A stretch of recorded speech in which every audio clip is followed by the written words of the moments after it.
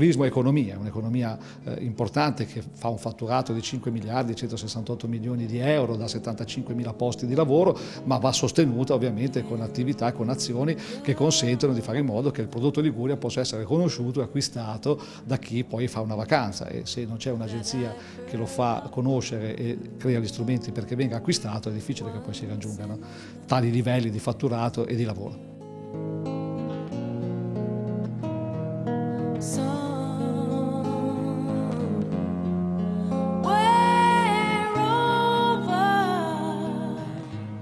Cifre che mettono subito le cose in chiaro, nonostante la crisi e la diminuzione del PIL, il settore turistico resta un punto di forza. La Liguria non fa eccezione, il ruolo dell'agenzia in Liguria diventa sempre più cruciale per coordinare e gestire le attività di promozione si è avuto un certo successo sul mercato internazionale per cui i numeri sono aumentati di circa il 9% negli ultimi 4-5 anni, questo è dovuto anche, non solo, ma anche al lavoro di promozione che l'agenzia ha fatto insieme ai sistemi turistici locali, alle province, al comune di Genova, agli operatori sui mercati internazionali più importanti.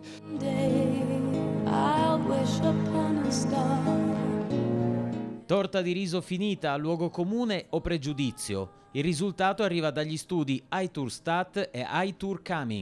Sono due indagini di mercato fatte da una società specializzata che ci ha dimostrato tutto sommato che la Liguria non è così messa male, soprattutto a livello operatori.